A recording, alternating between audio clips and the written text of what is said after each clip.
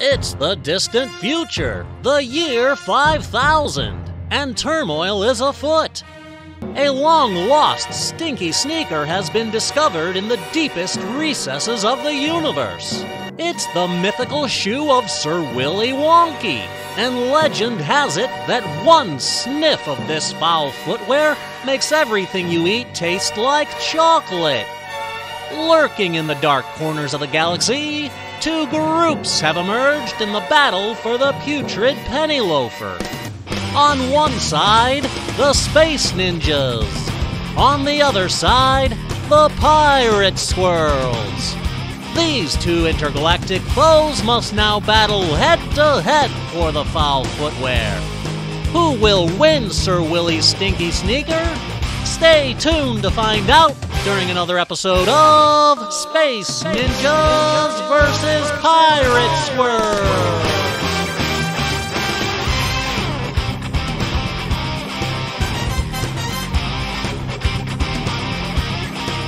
Hello, everybody, and welcome back to another incredible week of Space Ninjas versus Pirate Squirrels. Once again, we're going to have the biggest, baddest, most bodacious battle the galaxy has ever known. But that's not all. Today, we're also going to be asking the biggest, bestest, most bodacious question of all. What is my purpose in life? Whoa, that's kind of a mind-blowing question. It's a question that's so big, you can spend a long time thinking about it. But today's story might help us begin to answer it.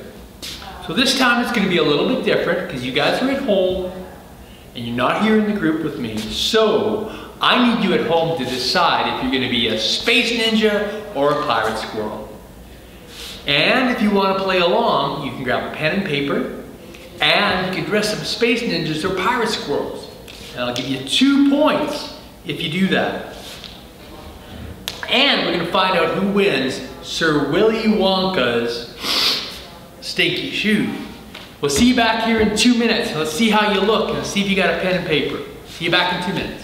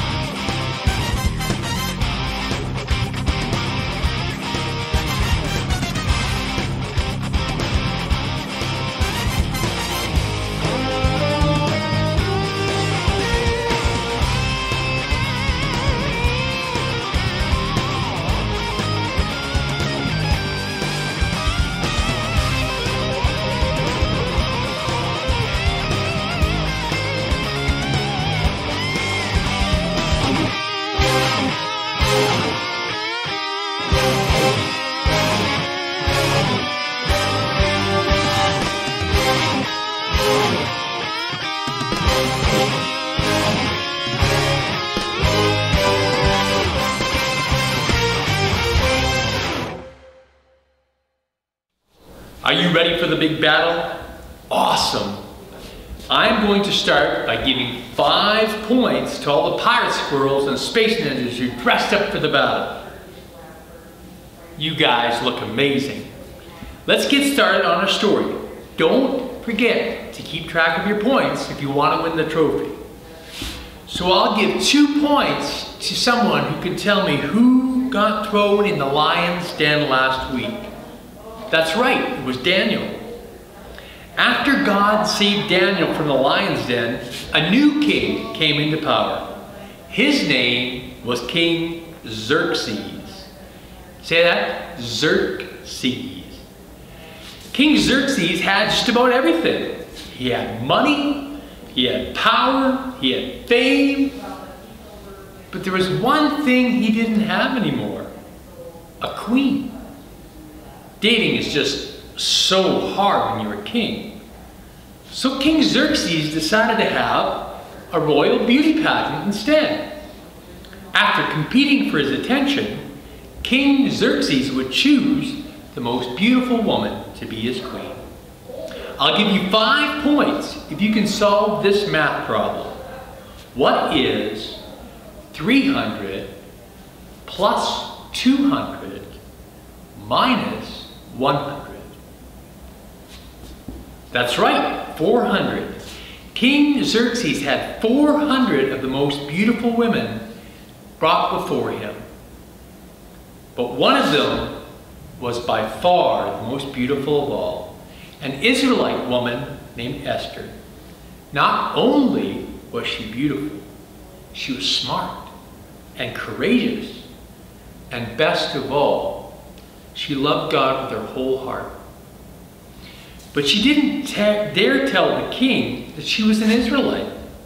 The Israelites weren't very popular in that foreign land, and she feared that she would never be chosen if the king found out. When King Xerxes met her, he immediately fell in love with her and declared that Esther would now be Queen Esther. Five points if you can show me what it looks like when you fall madly in love. A short time later, King Xerxes chose a man named Haman to be second in command. Haman was an evil man. Let's hear your most evil laugh. Nice work. Three points. Whenever I say the word evil, let me hear your evil laugh.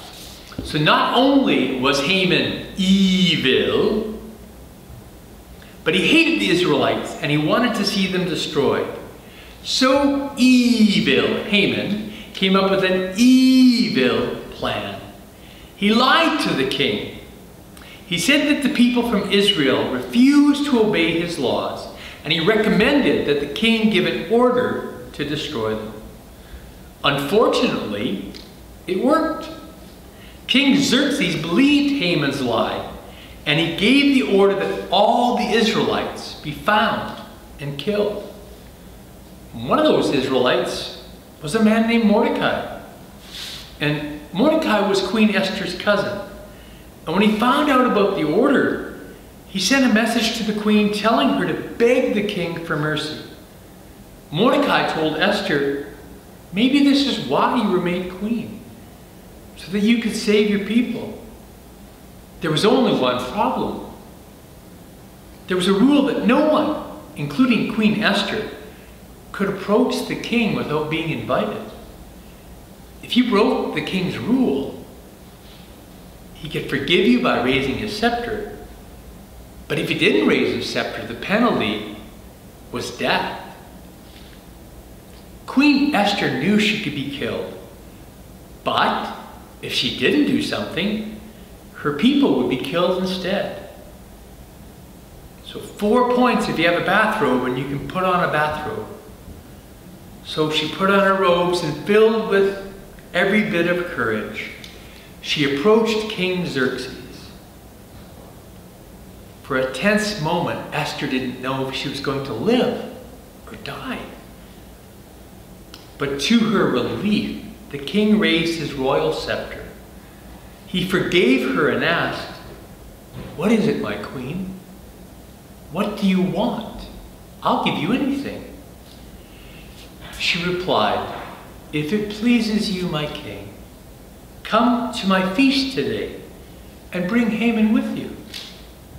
At the end of the feast, King Xerxes knew that Queen Esther must want something more. So he asked her again, What do you want, my queen?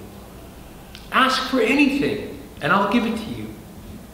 let's see what Queen Esther said to the king. I'll give 10 points if you can find your Bible, open your Bible, and find Esther chapter 7, verse 3 first.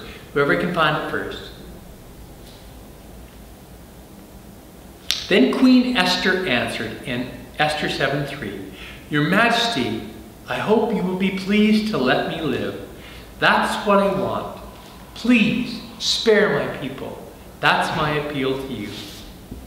The king couldn't believe that someone would threaten his queen and her people, so he asked her, Who is this man who would dare do such a thing?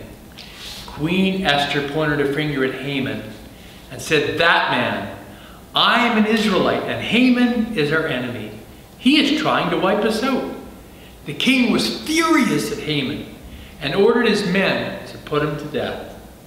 And even though King Xerxes couldn't change his law, he gave the people of Israel weapons so they could defend themselves. Mordecai was right. It wasn't just by luck that Esther had been made queen. God put her there so that she could help protect his people. Now that you've heard the story, I think it's time to see how well you were listening.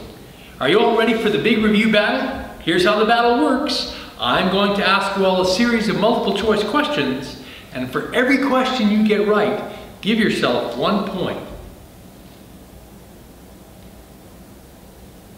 King Xerxes chose Esther to be his queen. How many women did King Xerxes have to choose from? Did he choose from A, 300, B, 400, C, 500, or D, 600? If you said B, 400, you are correct. Give yourself a point. The next question. Who was the evil man who hated the people of Israel and wanted to destroy them? Was it A, Daniel, B, Xerxes, C, Mordecai, or D, Haman?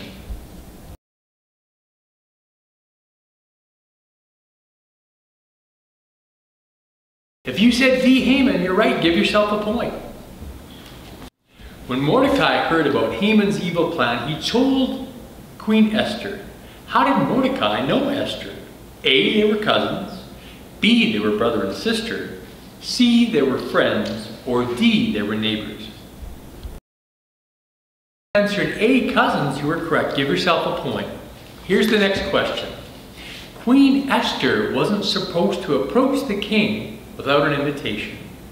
What did the king raise to show he forgave her? A, his hand, B, his royal scepter, C, his royal banner, or D, his royal broomstick? If you answered B, his royal scepter, give yourself a point, you're correct. Here's the next question. At the end of the feast, what did Esther request from King Xerxes? Was it A, to have Haman arrested, B, to have Haman killed, C, to have Haman's people killed, or D, to spare her people? You answered D, you are correct. Give yourself a point. So how did you do? I'll give you a few minutes to add up your points, and I will meet you right back here, and let's see who won Sir Willy Wonka's stinky shoe.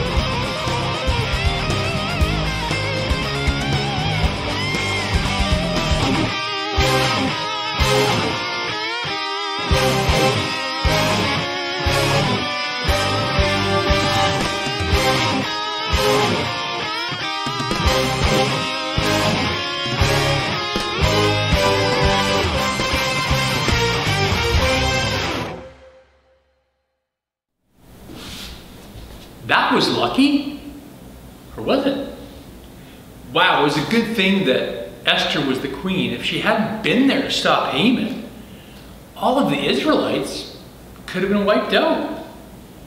Do you think it was just luck that Esther was queen at exactly the right time?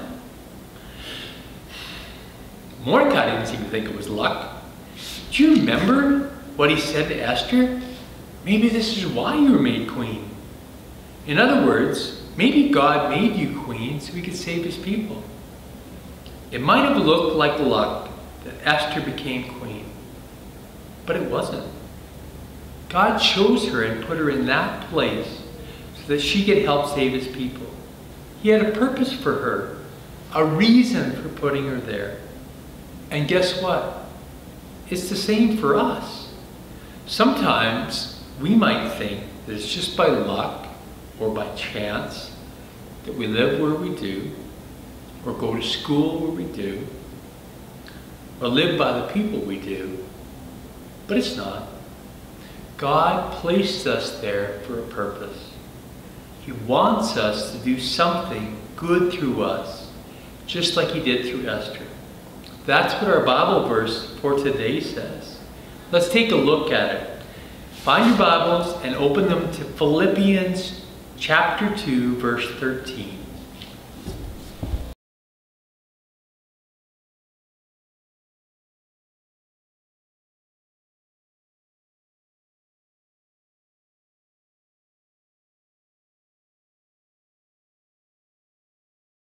Philippians 2:13 says, God is working in you.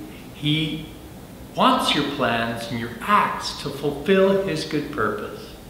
You are no accident. There's a reason why God made you and put you where you are. He has a good purpose for your life. Maybe his good purpose is for you to encourage or help someone, or be someone's friend.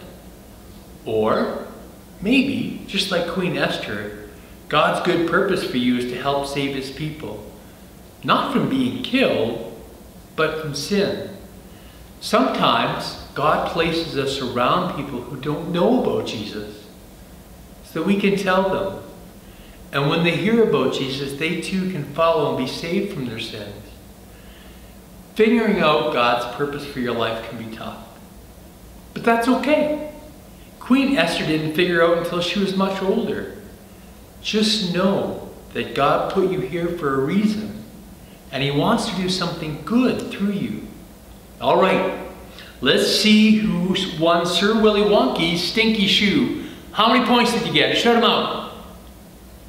Wow, you guys did a great job. So I'm so proud. I'm going to give you guys all the trophy. Lord God, thank you that you made us on purpose and for a purpose. That we are your workmanship, and we've been made to do the things that you want us to do, to bring you glory. Father, help us to stand for you. Help us to reach out to others for you and glorify you with our actions and our attitudes, whether it's encouraging someone or telling someone about Jesus so they can follow you. Bless all of us. Bless all the kids. In Jesus' name.